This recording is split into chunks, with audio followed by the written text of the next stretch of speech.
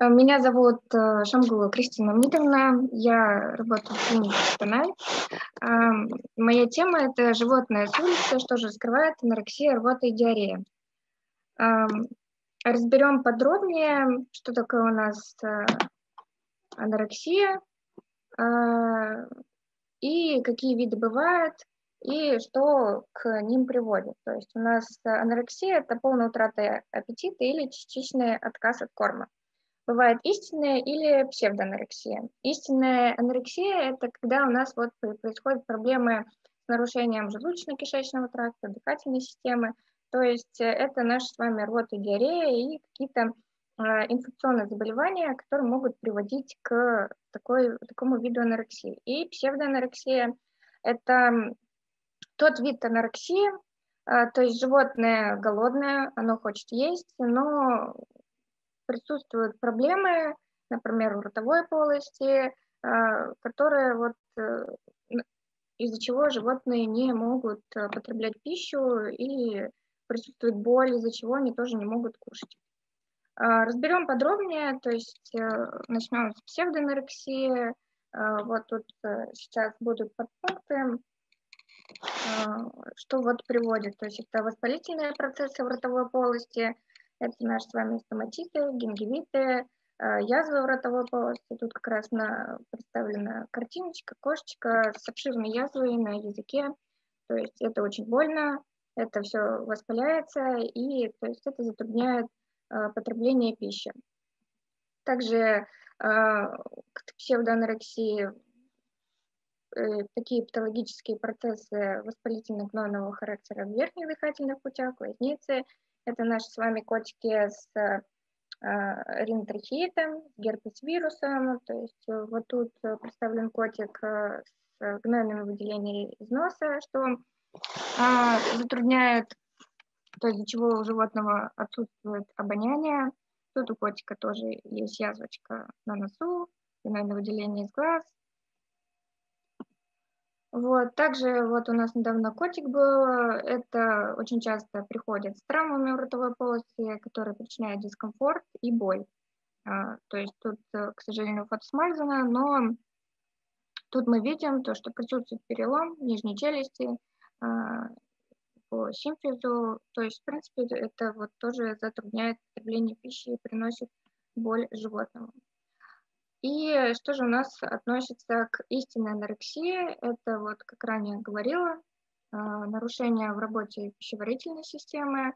А, тут э, присутствует закупорка, то есть присутствует э,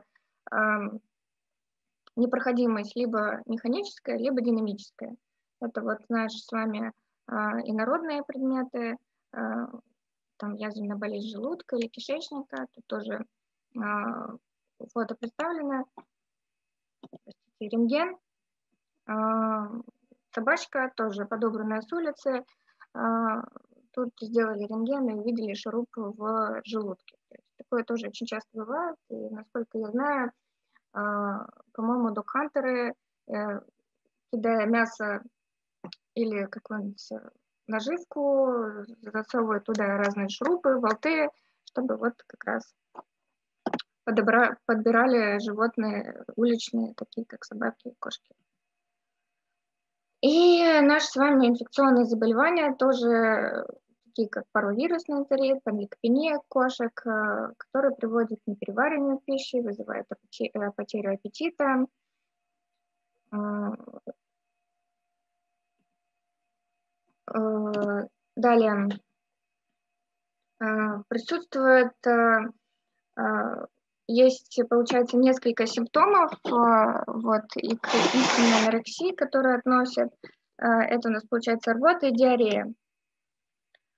А, какие же существуют причины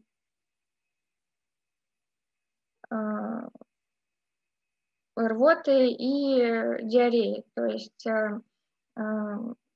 это у нас заболевание печени, например, начнем с рвоты. А, это заболевание печени, различные инвагинации, непроходимость механическая или динамическая, а, болезни почек, болезни центральной э, нервной системы, Также, простите, паровирусный энтерит, панлейкопения кошек, различные гельминтозы, э, чума плотоядных, панкреатиты, все это у нас приводит к рвоте и тем самым к э, истинной анорексии. То есть из-за этого животное, э, из-за чего у животного отсутствует аппетит. А, далее это у нас получается диарея, тоже один из симптомов. А, и тут тоже ряд диагнозов, заболеваний, которые вот могут приводить к данному симптому. Это также вирусная инфекция и гельминтозы, алиментарные токсины, а, так как животное на улице, оно может подбирать все, что угодно, начиная там различные травы, там, цветки, камни, вот все это может тоже приводить к диарее. Итак, как э, поставить нам диагноз? Э, первоначально вот животное приходит, э, люди находят животное и приводят его в клинику. Конечно же, это анамнез, но так как животное нашли вот только с улицы, анамнез, скорее всего, будет скудный, потому что они ничего не знают вообще, что оно, как оно, где оно вообще, как вообще живет. Вот, тщательный осмотр, начиная от головы и заканчивая кончиком хвоста. То есть это наш с вами, то есть уже на приеме предварительно мы можем с вами поставить диагноз и уже назначить лечение, э, пока мы ждем анализы или ПЦРы. То есть, например, мы уже сразу можем посмотреть э, ротовую полость, увидеть там язвы, э, сразу можем увидеть те же самые гнойные выделения из носа, из глаза, и то есть уже назначить какую-то терапию, чтобы помочь животному и чтобы начала кушать. А, также анализы крови, это биохимия, клиника, электролиты. То есть тут э, необходимый минимум, который может вот помочь а, животному для вот с улицы. А, это УЗИ брюшной полости, чаще всего в приемных. УЗИ аппараты сразу находятся, и то есть на приеме, пока вот мы осматриваем животное, тут же можем предложить УЗИ-диагностику и посмотреть, что у нас происходит внутри. Рентген тоже в качестве дополнительной диагностики. И, конечно же, ПЦР на вирусные инфекции, потому что а, для владельцев очень важно, во-первых, э, э, то, что данное животное, оно будет э, заразное или, наоборот, не заразно в той иной мере. То есть, потому что чаще всего же люди, которые находят животное с улицы, у них дома еще есть пару котов, и для них очень важно то есть точный диагноз, чем она болеет и насколько заразна та или иная инфекция.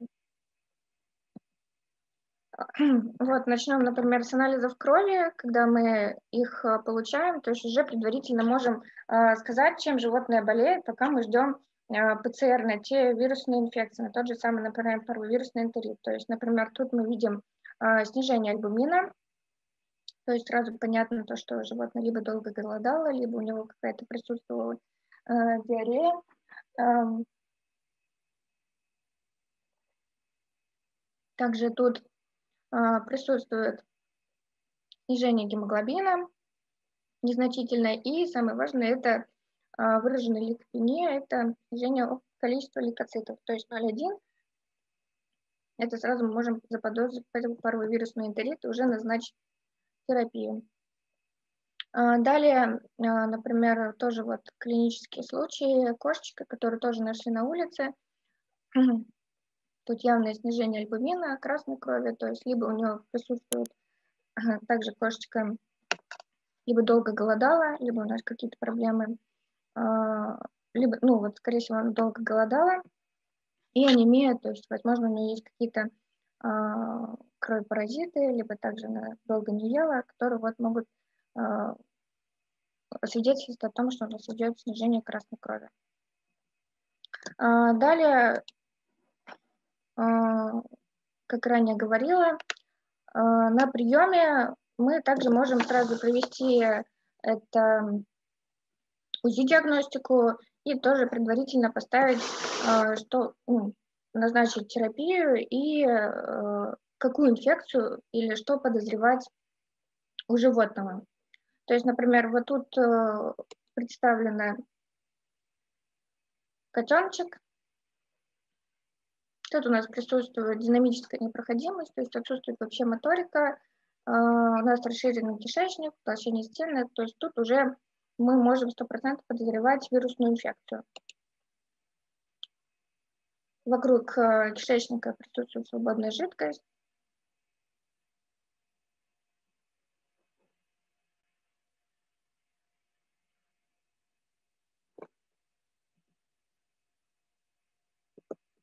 Вот. Тут тоже у собак. Также видим динамическую непроходимость, расширение, расширенные петли кишечника. И вот тут прям такой явный признак того, что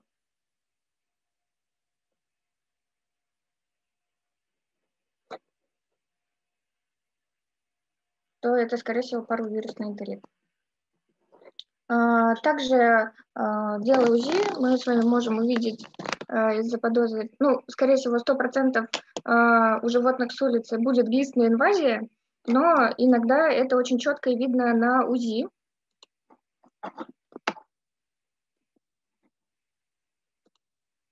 Вот тут. Сейчас, секунду.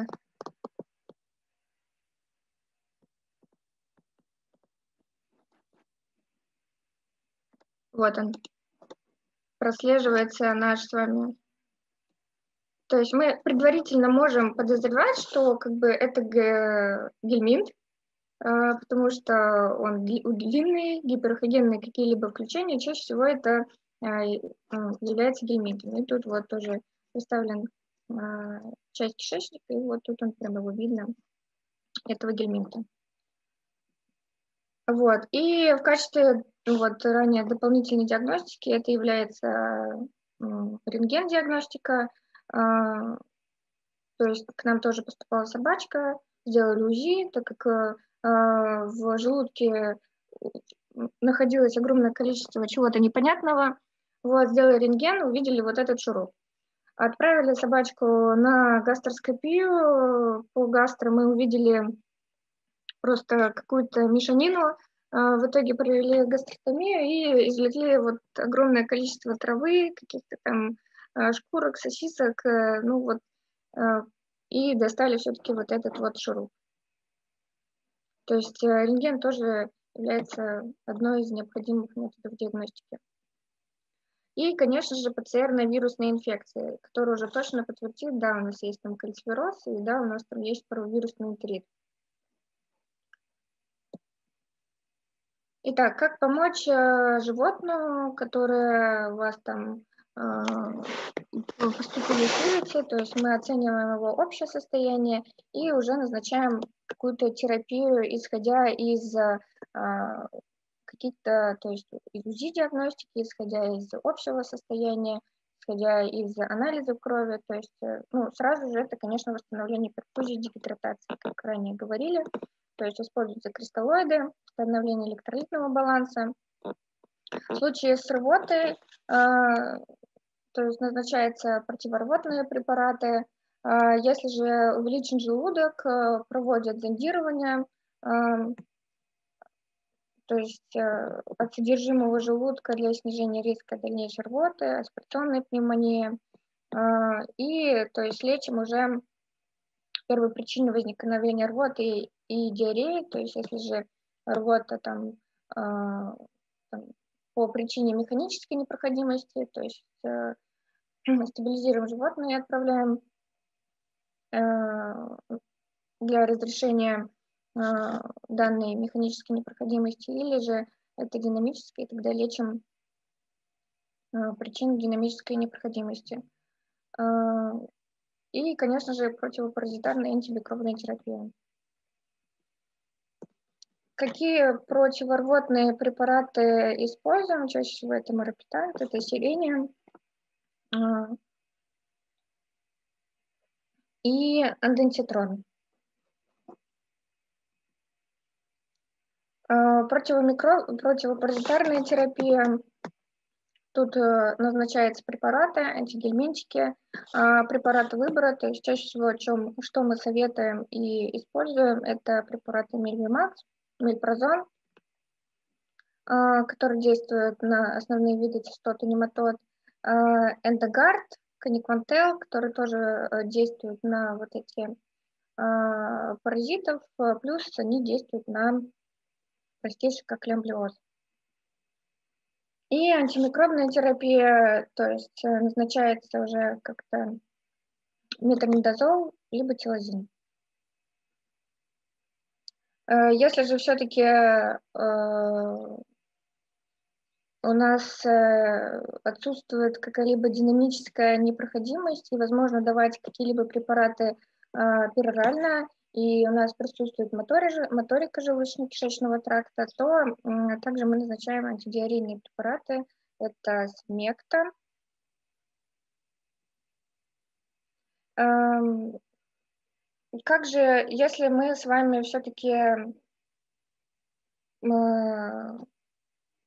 исключили динамическую или механическую непроходимость, как же животное заставить есть? А, то есть э, первоначально, конечно, это попробовать как-то его, когда мы убрали все причины псевдоанорексии или истинной анорексии и исключили вот эти э, виды непроходимости, то есть э, и тогда уже пробуем кормить животное. То есть сначала, конечно же, выбираем самые вкусные корма, которые это, скорее всего, recovery и э, то есть пробуем с руки, Потом, э, если животное с руки не ест, пробуем как-то осуществлять кормление со шприца. Вот, если же э, такие поражения, как я вам ранее показывала, в ротовой полости, и животное вообще ни в какую не хочет есть, э, нужно, конечно же, э, обезболить ротовую полость, э, просанировать, если есть гнойное выделение, э, теплым раствором натрия хлорид. И если же все-таки после всех этих манипуляций животное не ест, то, конечно же, самый выход это стома. Очень удобно, и животное может э, потреблять э, пищу в том объеме, который ему необходимо.